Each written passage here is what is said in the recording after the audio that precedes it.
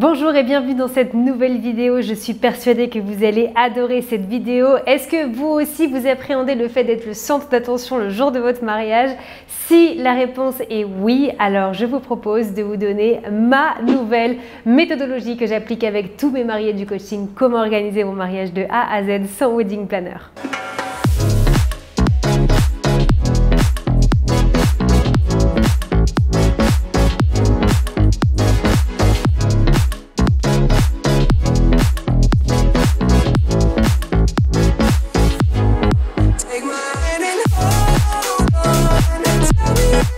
C'est un plaisir de vous retrouver ici et j'adore cette vidéo parce que euh, pour moi c'est complètement dingue de penser que vous pouvez appréhender un moment d'une si belle journée où pour moi ça doit être que du plaisir de A à Z.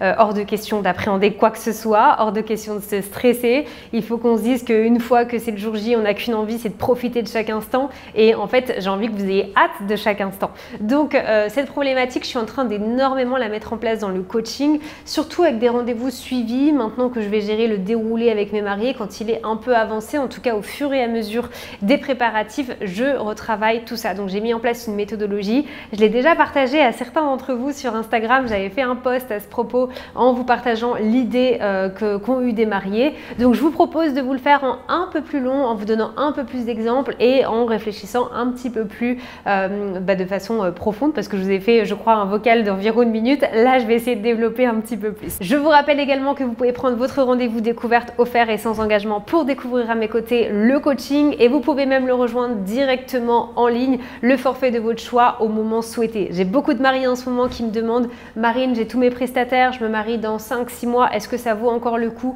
Ben, En fait, bien sûr, parce que euh, ce que je dis tout le temps et euh, ce que j'aime transmettre à tout, tout, le monde, c'est que la, la, plus grosse partie de vos préparatifs, elle commence vraiment quand vous avez les prestataires. Un mariage, c'est euh, comme un puzzle, c'est-à-dire que vous avez les pièces qui sont les prestataires, qui sont vos recherches, qui sont tout ce que vous avez fait. Mais après, ce qui est intéressant sur ces derniers mois, c'est d'assembler les pièces du puzzle. Parce que finalement, euh, le puzzle, on peut voir vraiment que le résultat qui est euh, très beau quand toutes les pièces sont assemblées. Et bien là, c'est la même chose. Donc croyez-moi, il y a toujours des choses à revoir, des choses que vous n'imaginiez pas. Et on va essayer d'aller plus loin et de cadrer tout ça. Donc bien évidemment, vous pouvez rejoindre le coaching quand vous le souhaitez grâce à ces trois forfaits. C'est d'ailleurs la raison pour laquelle vous avez trois forfaits différents. Je vous mets le lien si vous voulez qu'on en discute, n'hésitez pas, mettez-moi moi en commentaire et comme ça je viendrai euh, ben, vous parler et on pourra en discuter en privé. Ensuite, je vous arrête également si vous pouvez faire une petite pause à cette vidéo pour vous abonner à ma chaîne YouTube si ce n'est pas fait. Ça vous permettra d'avoir des conseils toutes les semaines sur des thématiques bien différentes.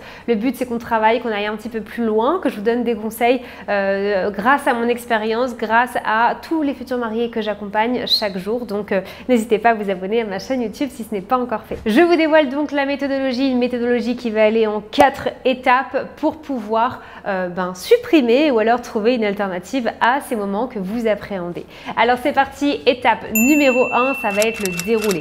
Je suis euh, connue et je vois plein de commentaires un peu de partout qui me font bien rire sur euh, ma façon de faire des déroulés avec mes mariés. J'ai des mariés qui, appellent mon déroulé un déroulé militaire. Beaucoup ne comprennent pas pourquoi je vais tant en détail pendant les préparatifs. Et en fait, après le jour J, ils me disent merci parce qu'ils se rendent compte qu'ils ont euh, fait, ils ont rendu un grand service à tous les prestataires qu'ils avaient. Ils se sont beaucoup moins stressés et puis ils ont aussi rendu un grand service à toutes les personnes qui avaient des missions autour d'eux, que ce soit leurs proches, des professionnels, etc. Donc voilà, l'important l'importance du déroulé est dingue. Plus vous allez aller en détail, plus vous allez pouvoir euh, également anticiper, plus vous allez pouvoir travailler des parties parce que euh, si vous mettez un mariage euh, entrée des mariés, ensuite la aide d'honneur, ensuite le vin d'honneur, ensuite l'entrée des mariés au repas, je vais pas avoir beaucoup d'informations alors qu'au contraire le but c'est qu'on ait bien une dizaine de pages quand même de déroulé avant votre mariage donc l'importance du déroulé est folle. Donc numéro 1, il me faut se dérouler. Peu importe où vous en êtes là dans l'organisation de votre mariage, après cette vidéo, prenez une feuille blanche, mettez-vous sur l'ordinateur le format que vous souhaitez.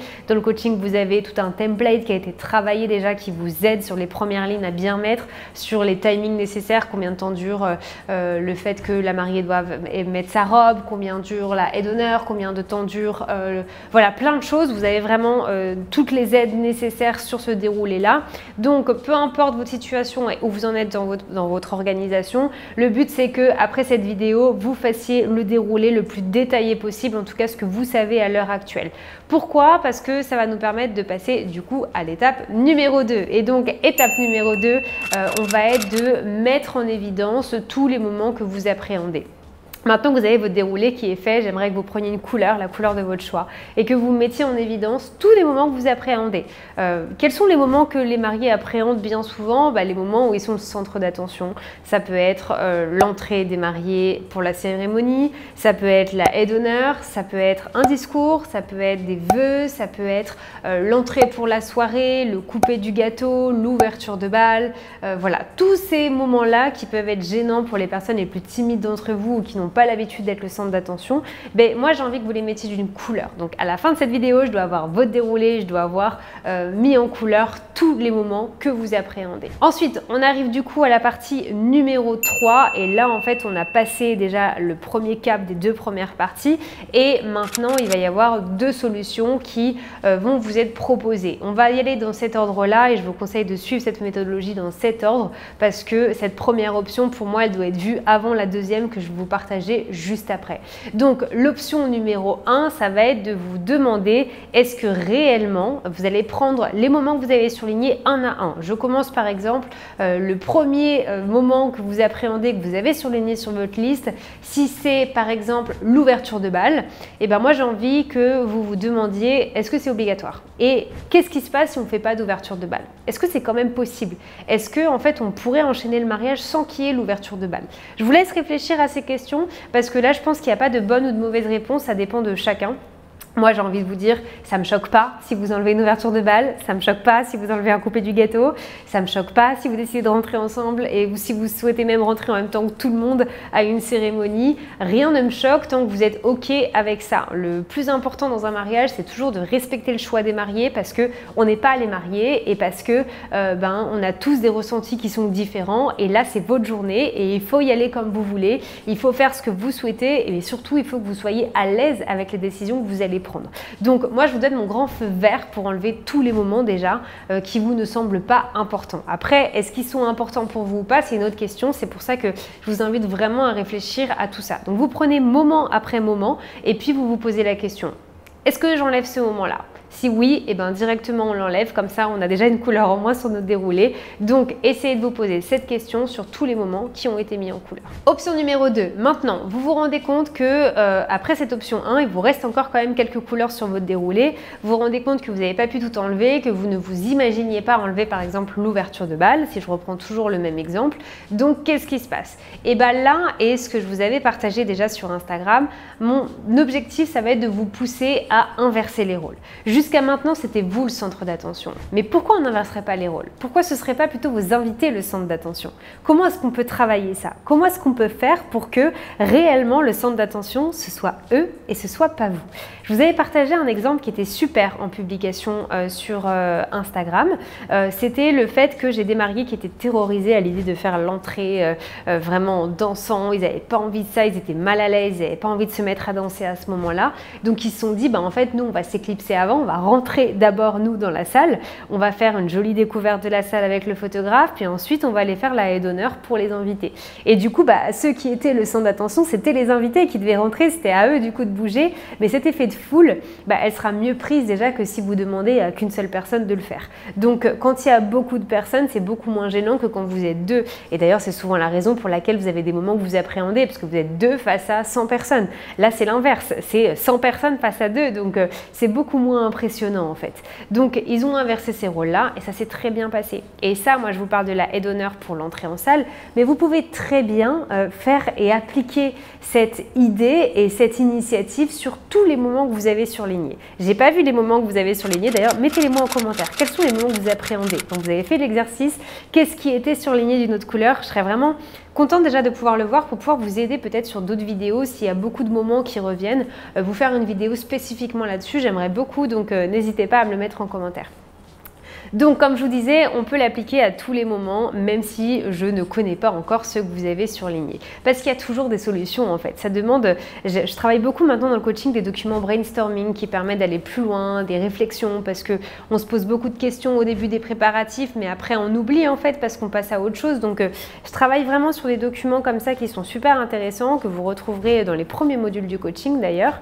Euh, mais, euh, mais voilà, c'est vraiment super important de vous poser ces questions-là. Donc c'est vraiment quelque chose qui va prendre du temps. Vous n'allez pas avoir des réponses ce soir ou alors aujourd'hui après avoir vu cette vidéo. Ça va prendre un petit peu de temps, mais commencez à le travailler et essayez de vous poser les bonnes questions. Moi, c'est vraiment un travail qu'on fait en équipe, c'est-à-dire que avec mes mariés et moi pendant les rendez-vous, on le retravaille, on passe par toutes ces étapes que je vous ai partagées. Puis quand je vois que par exemple, je sais pas, ce qui les terrorise, ça va être l'ouverture de bal, bah en fait au fur et à mesure, je vais leur proposer des idées, eux aussi vont me donner les leurs, ils vont parler aussi avec leurs proches. Donc tous ensemble, on arrive à brainstormer comme ça jusqu'à arriver à une idée qui va euh, bah, les leur convenir, hein, tout simplement. C'est le plus important et encore une fois, c'est ok si on n'est pas tous d'accord. Peut-être que moi, j'aurais pas fait ça à mon mariage, peut-être que ce que j'ai fait à mon mariage, vous ne l'auriez pas fait et c'est complètement ok. Donc inverser les rôles. Euh, une ouverture de bal, pourquoi ça devrait être les mariés qui ouvrent le bal? Euh, Quand déjà, alors sur la première option qui est de l'enlever l'ouverture de bal, bah, moi je suis allée à plein de soirées qui ne sont pas des mariages et il n'y a jamais deux personnes qui ouvrent le bal. Hein. c'est la musique monte toute seule, DJ savent très bien de quoi il s'agit et comment faire, ils savent très bien gérer tout ça. Donc à la limite, tous les invités peuvent aller danser sans qu'il y ait un moment d'ouverture de bal.